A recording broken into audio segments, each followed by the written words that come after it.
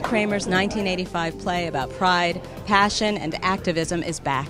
We're here at a photo shoot to talk to the starry ensemble of The Normal Heart.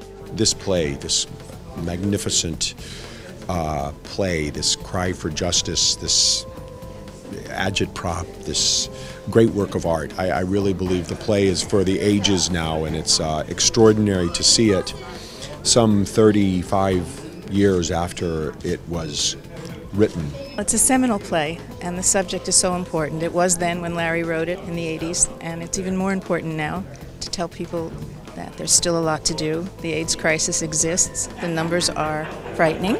This play is kind of simultaneously a um, historical document and a reminder. Uh, I think that men can love each other, so it works on so many different levels. Um, but the thing that I'm really taking from it is that um, men can love each other and take care of each other.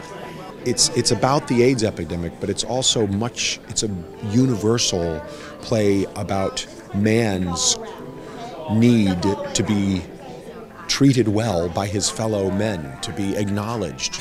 But this one is such a quick rehearsal. I mean, we've only got two weeks to get it together, and then 10 previews, and then we're opened, and so it's kind of Broadway experience right out of a cannon.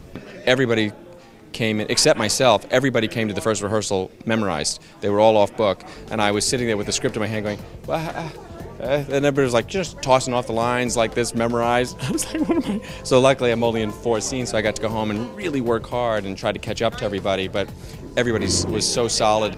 It's just a real good group. It's a very hard-working group, and. Uh, and a group that one of the first things I said was how nice it was to come and do a job where everyone was so excited to be here. You are working with an incredible ensemble of actors. Tell me about that. Um, I don't know why they cast me. Uh, yeah, it's an incredible, it's an incredible ensemble. Absolutely, um, learning from them every single day. You always want to do jobs where you feel like you can step away from it richer and stronger, and I certainly have a lot to learn from all these people. So you want to talk about the ensemble? They're all really, really good looking. Everybody. I'm the oldest person in the cast. I think even Mark Harelik is uh, Harelik. Harelik. You can edit this, right?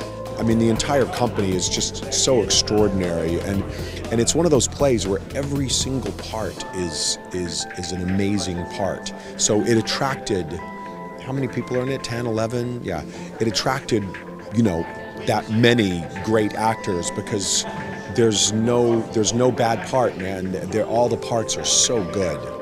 And are you having fun here on Picture Day? Am I having fun on Picture Day? I I'm not gonna lie and say that this is a hoot and a holler. The bad thing about Picture Day is that there's no character to hide behind, so they're taking pictures of me. Actors love to hide, and when you get your photo taken against a white backdrop, or you're on camera like this, it's a very, uh, it's very naked, and I've been naked. Um, uh, so it's yeah, it's but it's also exciting because it makes you realize that you know people are going to come and see it, and you're going to be able to share this play with people, and that's what it's all about.